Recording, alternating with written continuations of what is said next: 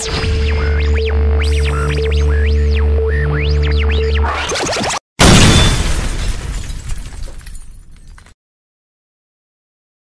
is happening, my Android friends? Welcome to another episode of Device Updates. I am David, of course, your Android junkie at AndroidSpin.com. And I know I haven't had this segment on in the past couple weeks, but I'm here now, and hopefully your device has an update waiting for you.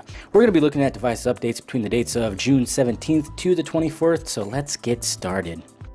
There is an Android 4.2.2 test build for the Galaxy S3. That is correct. SamMobile actually warned us about this update 48 hours before it hit, and sure enough, they kept their word. So if you have a Galaxy S3 and you want to get some added bonus features that the Galaxy S4 has, click the article that's down in the description and follow the directions carefully. Please do not brick that phone. We wouldn't want that to happen to you, and please let us know how it is.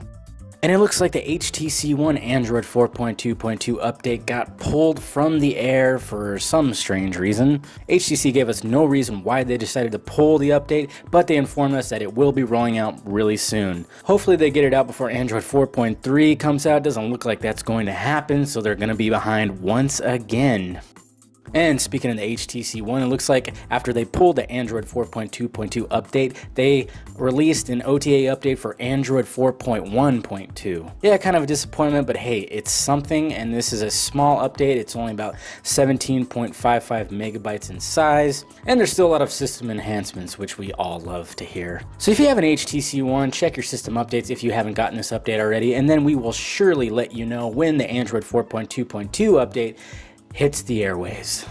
And it looks like the Sony Xperia ZL is getting an Android 4.2.2 update. What's funny about this update is that the Xperia ZL is the first non-Nexus phone to be updated to Android 4.2.2. Now I know there's phones out there like the Galaxy S4 that came with Android 4.2.2. This is the first phone that's not a Nexus that's getting Android 4.2.2. Kind of a little silly there, don't you think? Might be a little frustrating for you HTC One owners, but hey, like I said, the, the Android 4.2.2 update will be coming out soon. But in the meantime, you Xperia ZL users will be getting some Android 4.2.2 if you haven't gotten it already.